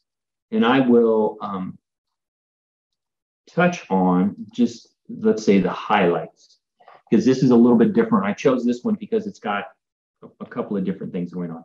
This is even a younger patient. Their chief complaint was overjet and protrusion. This is significant for this case. This little girl at nine years old, her chief complaint was overjet and protrusion. Okay, who's talking? Mom. A nine-year-old is not going to come into the to the the clinic and say, hey, by the way, doc, um, my chief complaint is overjet and protrusion. Mom wants her to be less protrusive. Okay, so you look at her. Clearly, you can see convexity here, right, in her lips. So there's a line that we use from the nose to the chin. It's called the E plane, and the lips are in front of that. So yeah, she's con convex. Problem here is that she has no crowding and basically straight teeth. So you have this little girl that walks in the clinic you would not normally, you know, say, hey, we need to do an ortho workup on you because you're too protrusive and um, procline, let's say. But she says she is. All right, so you do your analysis. She's only nine years old, so now she's definitely mixed dentition. So the way that we approach these mixed dentition cases like this is once again, we, we look for the CVM analysis, and but we also look at the eruption pattern. So the very last tooth to erupt into the arch is going to be your lower second bicuspids. Sometimes the upper canines, but mostly the lower second bicuspids. The way that you that you look at um, a case as far as the eruption pattern is concerned is when the lower second bi, the crown is the only thing that's formed. There's still almost four years until all the teeth come in. If there's a quarter of the root, it's three. If there's half a root, it's two. And if the if the root of this five were three quarters formed, then she would only have about one year until eruption. This is kind of nice um, because if moms or dads even ask, um, hey, when are they going to get all the permanent teeth? If you have a pano, you can basically tell them within literally a few months. So for her, finally, when you look at her ceph, now you see the protrusion. You don't necessarily see it when you first walk in and look at her face or her teeth, but when you do the ceph, now you can see. So yes, she sees it. Now you can see it. These numbers, remember on the ceph, the numbers that are highlighted are going to give you a little bit of a flashing red light that there's something going on here. So yes, she is protrusive. So you do the same thing, right? CVM growth analysis, you, you put her on the growth curve. Every growing patient gets one of those. Okay. Now, introduce you know another thing that that you will find very very very helpful. What SmileScreen will do for you is it will give you what's called a VT code. VTOs are called visual treatment objectives. And what it will do is it will tell you where the teeth are going to end up based on your treatment plan. So this is what we call the non-extraction VTO. It's taken, the SmileScreen will do all the work. It'll take it from the ceph and it'll use your model, model, model measure. It'll put the two together and it'll give you a picture of what's going to happen to the teeth if you treated this case non-extraction. Well, obviously, she had almost zero crowding. So the teeth are not going to move. So that's why you see the blue, which is the starting position, and the red or the orange, which is the final position, almost exactly the same because she had no crowding. Now, if you were to take out four bicuspids, if you were to extract upper and lower fours, obviously you have to close the space so the teeth are going to retract. In this case, what's her chief complaint? Protrusion. What do you have to do to solve her chief complaint? You got to extract teeth. So it was decided for this case, this is a very interesting case because there was no crowding, it was decided to go ahead and um, extract fours. But, fast forward, but she's still in the mixed dentition. So this would be what is called a serial extraction case. We've all heard that, you know, maybe you remember studying it in school.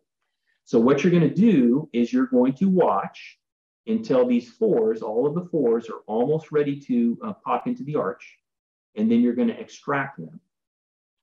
Okay. SmileScreen has a complete mixed dentition treatment protocol, complete.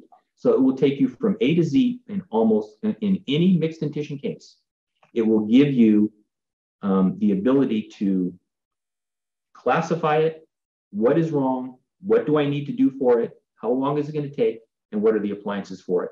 There's a there's a module in SmileScreen that will that will do all of this for you, as long as you take the initial records, you know, and you know put it in. So for this case, what we're doing, what they're doing is we're just waiting. So a, they called it adjustment number one, but basically it's just six months later when they came in, and you can see that the teeth are erupting. You can see that the the root formation of the fives is a little bit um, better. Three months later, um, even more teeth are erupting and primary teeth are exfoliating. And finally, three months after that, they decide to extract the fours.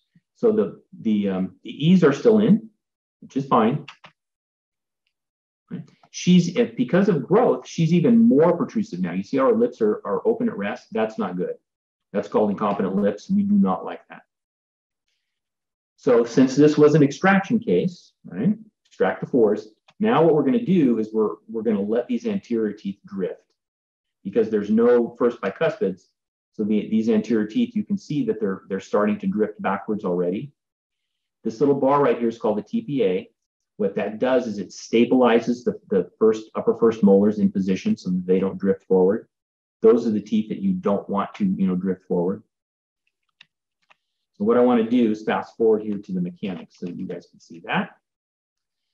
So the same thing when you start the case, initial band and bond, pretty aggressive to start with an 1825. That's not normal, but she's a kid. Right? Same thing, you just keep going through your wire progression until the teeth are aligned. You eventually get to, you know, you just watch and watch and watch and twiddle your thumbs. You're not doing anything until you get to your 1925. That's your mechanics wire. Okay, now you can start closing the extraction space.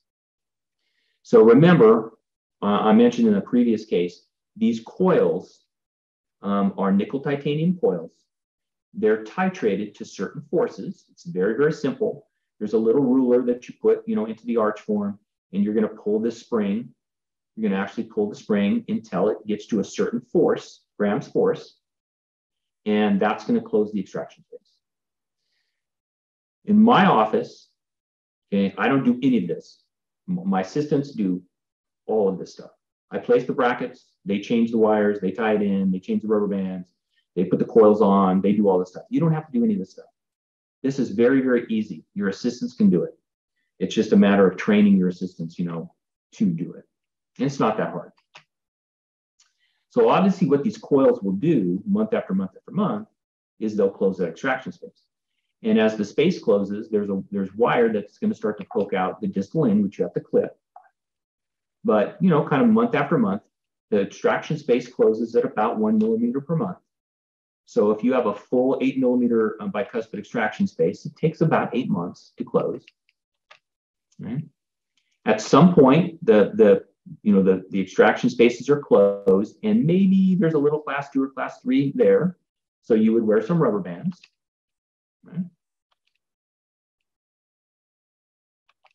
And eventually you get to your finishing. So all spaces are closed, you know, decent overbite over overjet, um, minus four bicuspids, and now you're starting to finish. So the uh, this is a picture of the intraoral finishing plier that you that you can use. You don't even have to take the wire out of the patient's mouth to make those up and down bends. Um, this one, they felt like that she could use a cosmetic gingivectomy. Her teeth were rather short, and I agree. So they did a gingivectomy.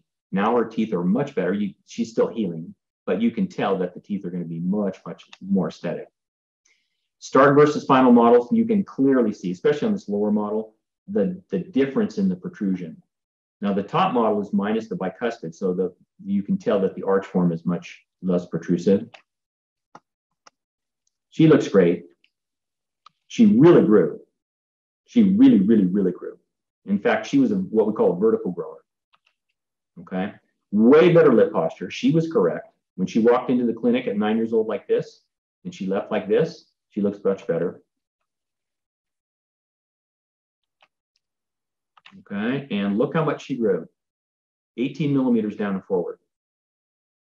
So you would, as you would expect, the upper and lower, you know, teeth, the incisors and the molars have come together, right? You extracted four bicuspids.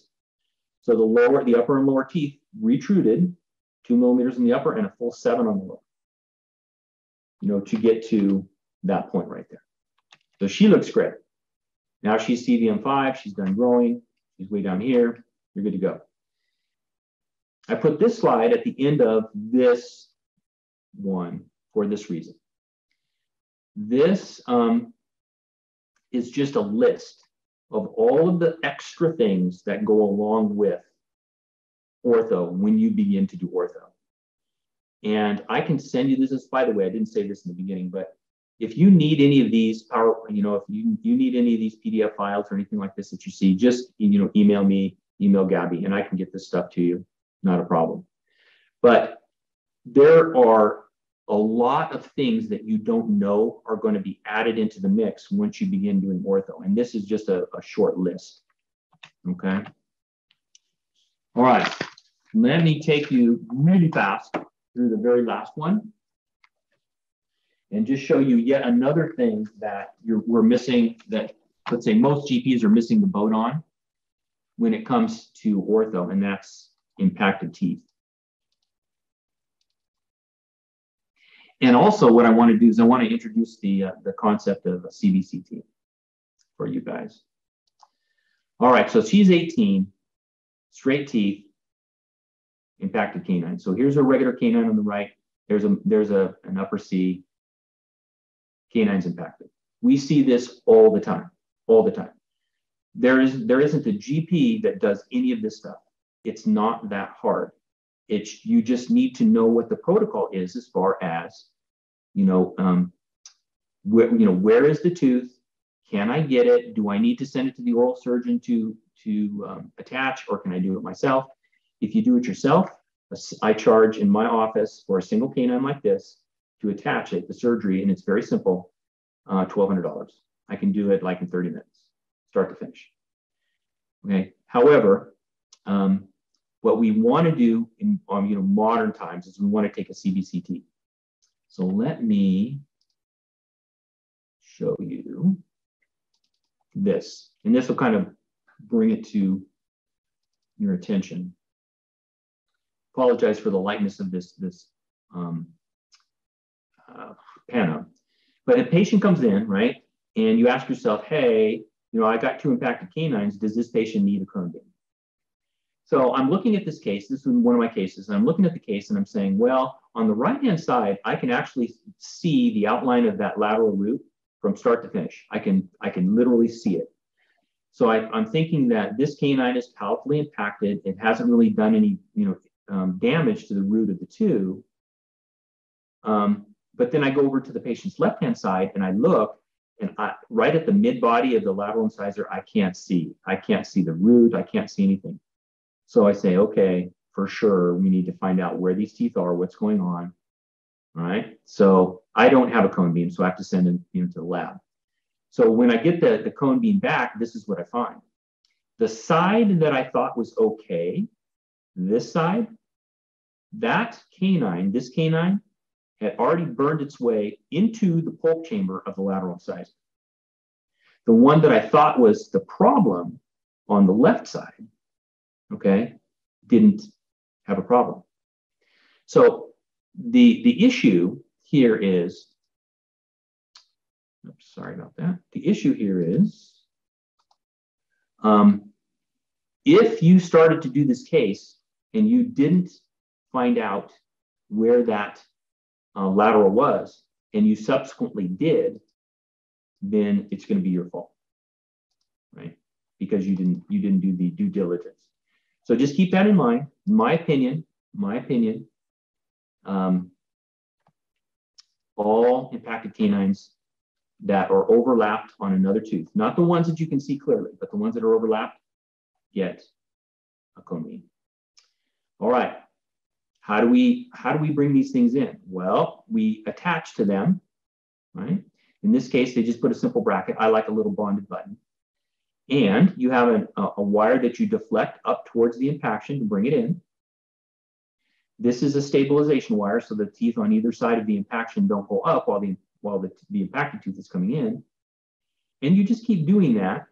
You just keep doing that until the tooth finally comes in.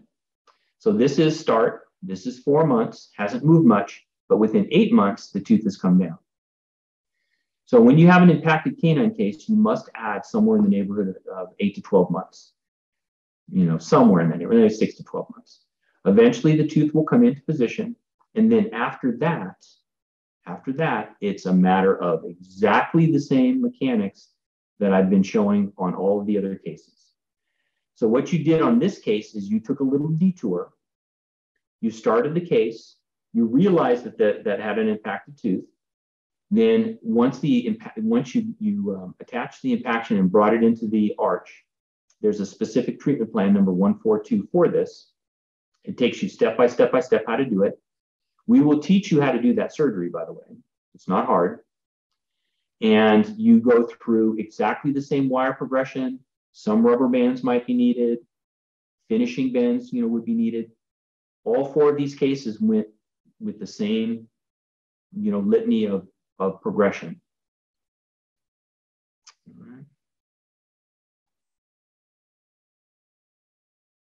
And final, okay? So you wouldn't expect the teeth to move much because the only thing that you did in this case was you know, do some minor alignment and bring in the canine. Right. So this the start and the final step are going to be the numbers are almost going to be exactly the same. She's a she was a, an adult, so you would not expect growth like those last two cases. The teeth themselves hardly moved. All you did was just align them. Okay. This case, this case right here, okay, very simple case. And if you did the surgery right? In my office, I, I'm a little bit different. I'm not a PPO, you know, dentist. I'm, I'm either Delta Premier or fee for service. So my, my fees for my ortho are more than what, let's say, a Delta PPO can charge.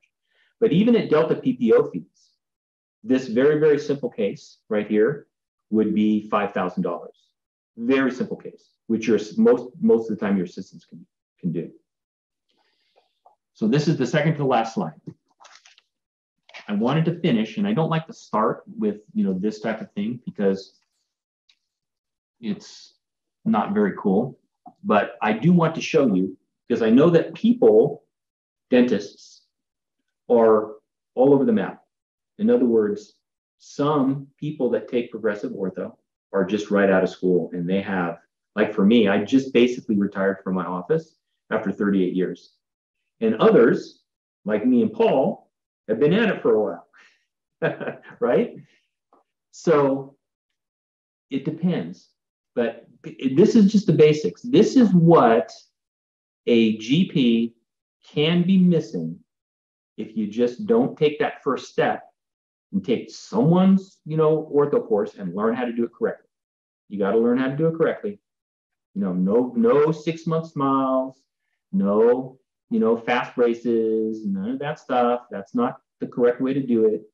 You know, don't think that you're that you can do, you know, aligners because you took Invisaligns, you know, three day course. That's not how you do it. What you have to do in order to learn this stuff is you have to take a decent, comprehensive, well thought out program. Okay. Now, this is what you could be missing.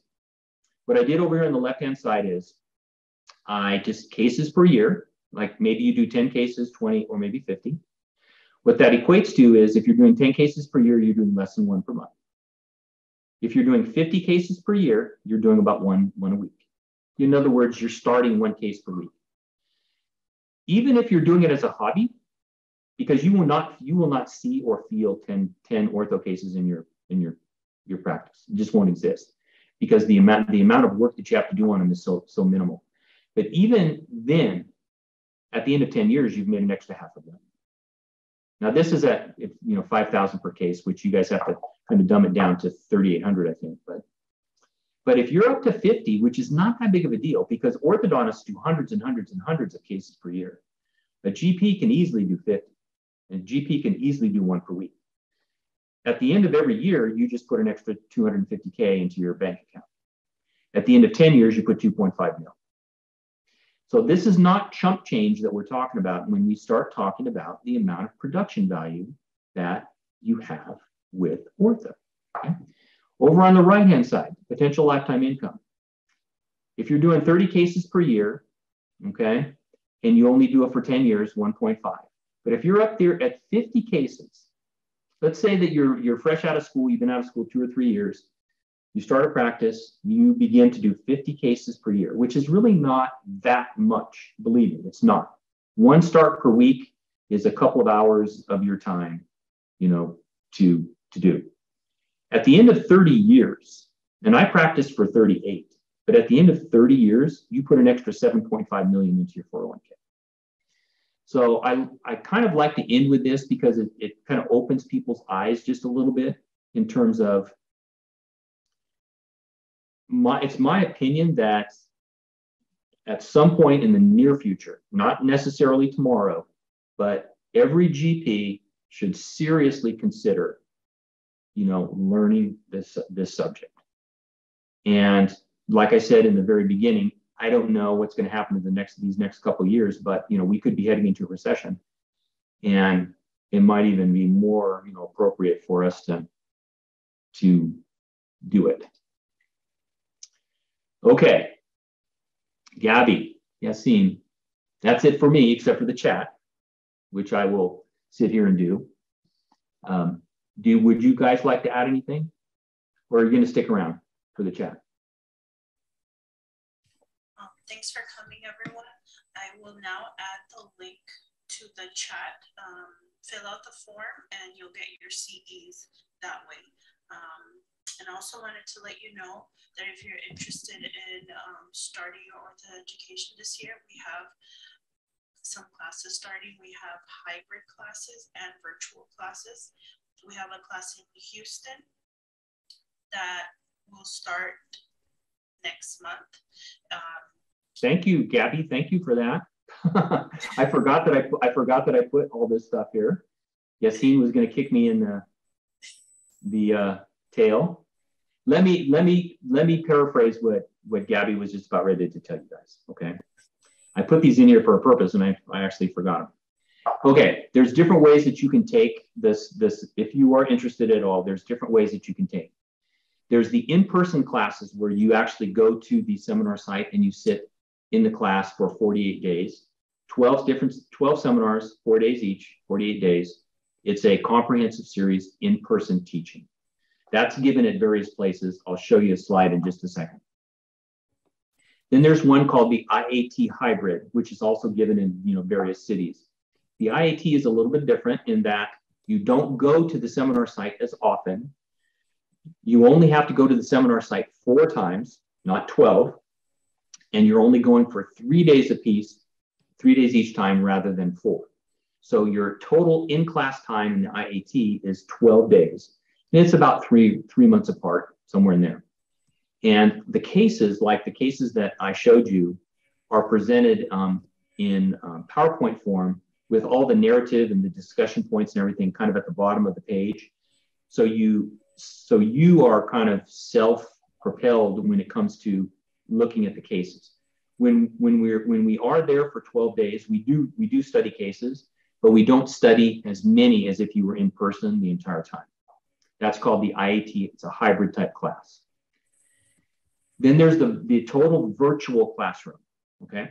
So in the virtual classroom, um, what we would do is, and there's going to be a virtual class that's starting in October, on October, I think, 18th or 19th. It's a Wednesday. And we're going to meet every Wednesday night for three hours for 30 sessions. Now, when it comes time to doing the hands on, when it comes time to doing the hands on, the way that we do it is like this. What I will have is I will have a second webcam and I will I will do I will do anything on my second webcam to show you guys. So if I need to bend a wire, if I need to show you any you know anything, it's going to be right here on, on my webcam. Then when you are finished doing you know the exercise, what whoops sorry, when you are doing finished doing the exercise, you simply show me what you did on your webcam. You simply hold it up so that you know I can see what you did, and we can go back and forth, and it can be it can be a total virtual class. You don't have to go um, to the class at all.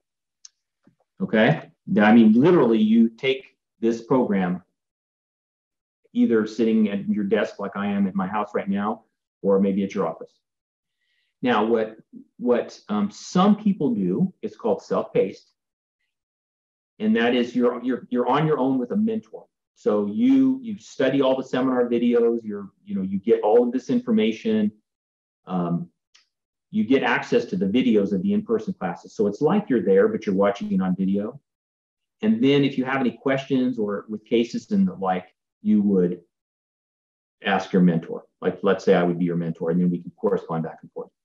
What a lot of people do, and what I kind of suggest, what a lot of what people should do is if you're if you're interested in starting, then you just start with the self-pace. And you get the information and you start watching the videos and you you get up to speed. And then somewhere there's going to be starting either an in-person class or an IAT hybrid class or even a virtual class. And then what you want to do is join that class. And then you get very specific hands, you know, one-on-one, just like we're doing right now. Okay. So these are the learning formats. If you need any extra information on that, just let me know. So there's all kinds of ones that are starting, right? Different different cities at different times. Gabby would be the one to contact if you're interested in anything, even overseas, because these classes here are just the United States, but even overseas classes. And then the last thing I will say is um, um, POS is not just ortho.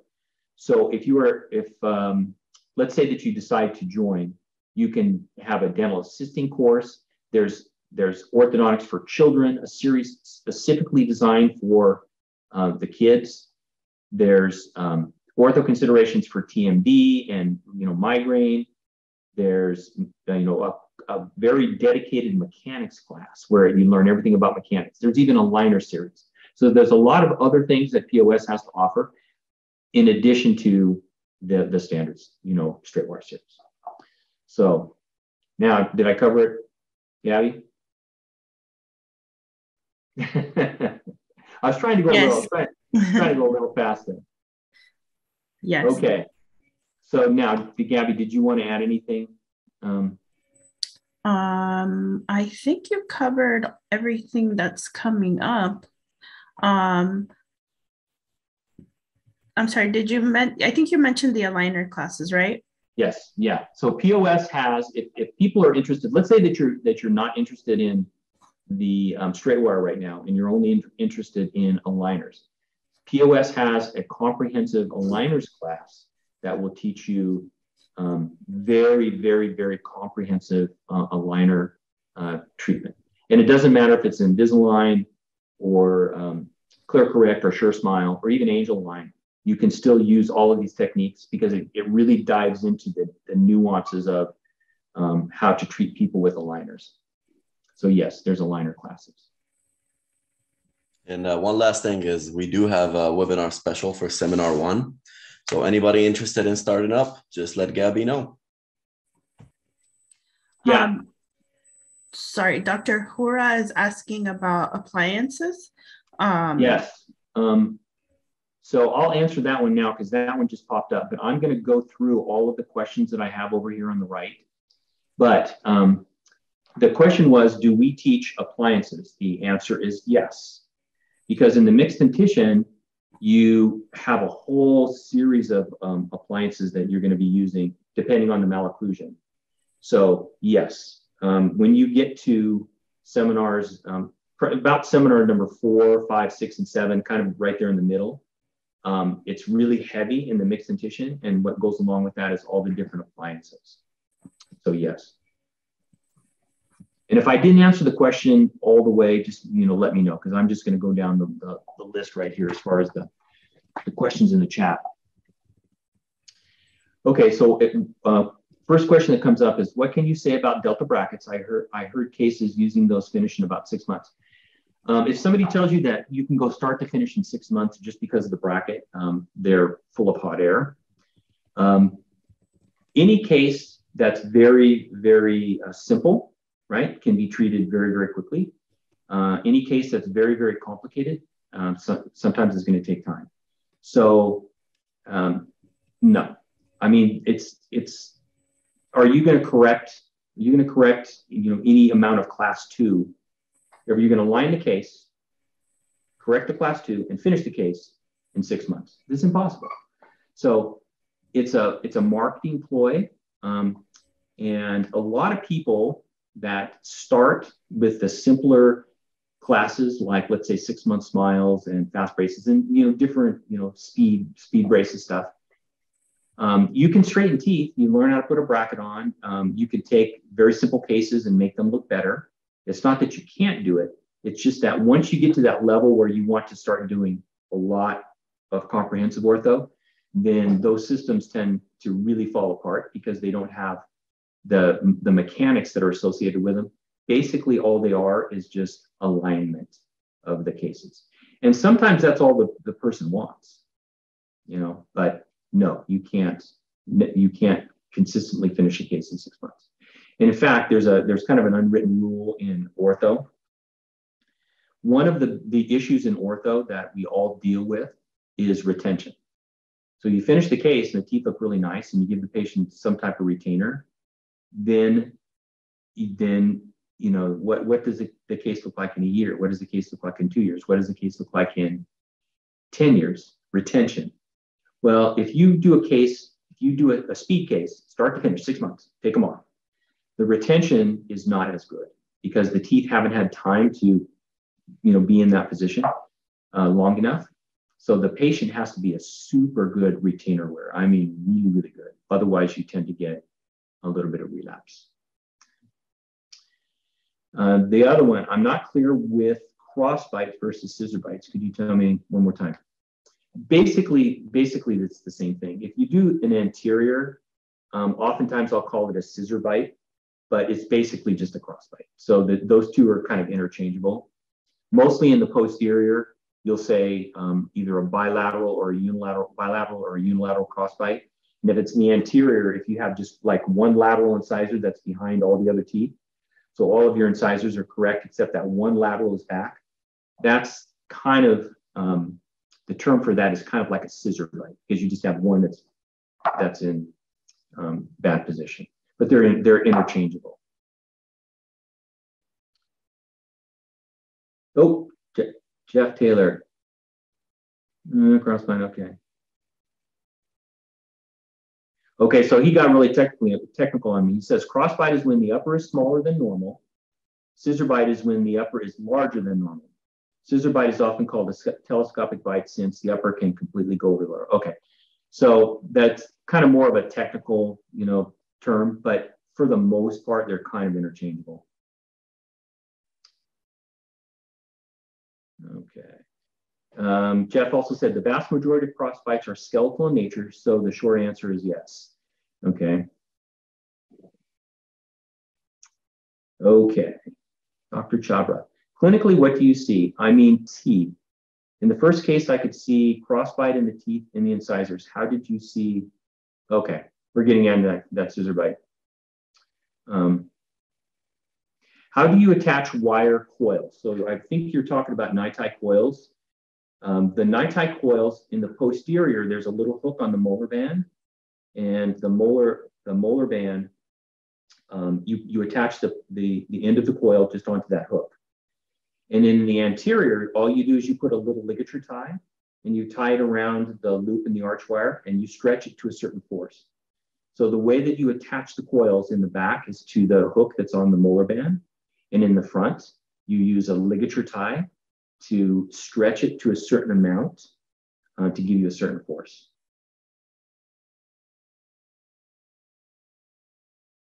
Yeah, Paul used ligature wire to connect the coils. To search.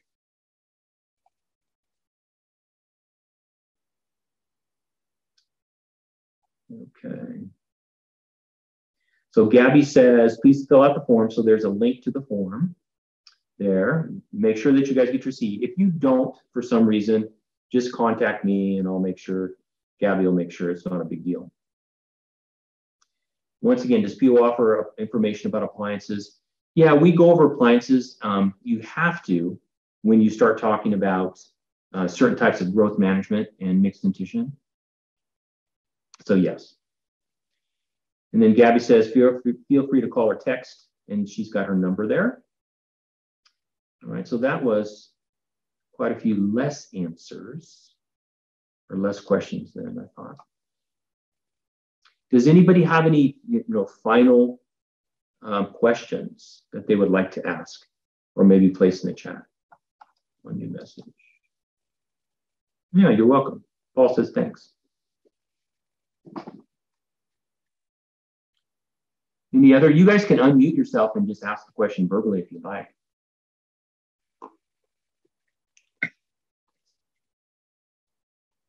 No? Okay. Well, it was supposed to be an hour and a half plus questions. I guess it's not too bad. We went over about 20, 20 minutes or so. Um, hey, Gabby, can you put my um, email address um, and send it to everybody? Yes. Okay. The, so Gabby, G- the Gabby G- will... go ahead. The Gmail or the SBC Global? Uh, Gmail. Okay. So Gabby's going to give you my email um, address. If you have any questions on any of this stuff, I know I went over really fast. I, I skipped a lot of stuff, you know, as far as the technical details and the little nuances. I just kind of wanted to show um, you just kind of a wide range of different things so that you can get an idea and maybe ask some questions like you did. And um, now, hopefully, you know, you guys will start thinking about, you know, taking that next step and, um, you know, joining. So me personally, um, I'm going to be starting a virtual class in about, let's see, it's August, September, October, in about six weeks. And it seems to be going over really well with people because um, you don't have to travel. You can actually just watch, you know, we can interact just like we're doing right now um, once a week with um, in a virtual class. So that's going to be starting, I believe it's it's October 19th, Wednesday, I think so. Destiny's giving me a thumbs up, I think. Um, so if you're interested in that or interested in anything else that you saw or any questions, if I can't answer them, I'll get you, I'll give you to someone that can. All right. So I would like to thank everybody for attending, and um, hopefully I will see your friendly faces in one of the uh, classes, upcoming classes. Hopefully. Okay. All right. Thank you, guys. See you later.